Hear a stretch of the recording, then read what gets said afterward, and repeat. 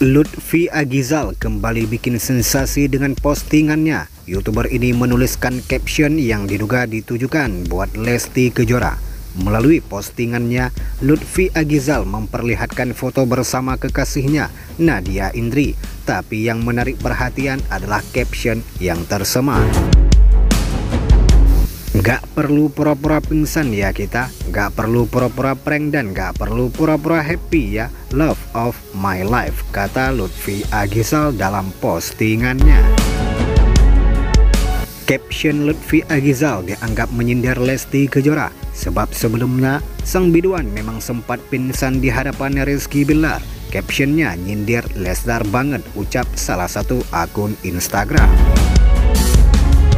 Ternyata update terus tentang Lesdar, Lesti dan Bilar. Wik wik wik, iri, bilang bos, ungkap salah satunya lagi. Kalau nggak nyenggol idola kita, nggak makan say, maklumin, lagi ngumpulin duit buat nikah sahut yang lain. Lutfi Agizal memang dianggap langganan untuk urusan menyindir Rizky Bilar maupun Lesti Kejora. Beberapa waktu yang lalu saat Rizky Bilar mengendong Lesti Kejora, mantan pacar Salsadilla Juwita ini mengungkapkan kekesalannya. Giliran gue lagi posting pegangan tangan di belang haram, edukasi mengenai pacaran dosa, ucap Lutfi Agizal. Giliran ada yang posting gendong-gendongan belum muhrim, dibilang wow keren, romantis, imbuhnya sambil kesal. Lainnya, tentu saat nama Lutfi Agizal mendadak heboh karena ia memperjuangkan kata anjay yang dianggap memiliki makna buruk saat diucapkan.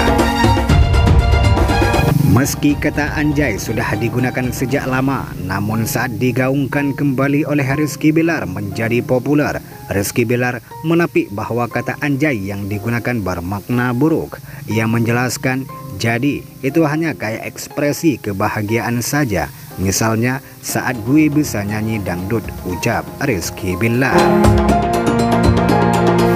Begitulah informasinya. Jangan lupa untuk kawal Lestar sampai halal. Jika ada kesalahan kami minta maaf. Kami akhiri. Assalamualaikum warahmatullahi wabarakatuh.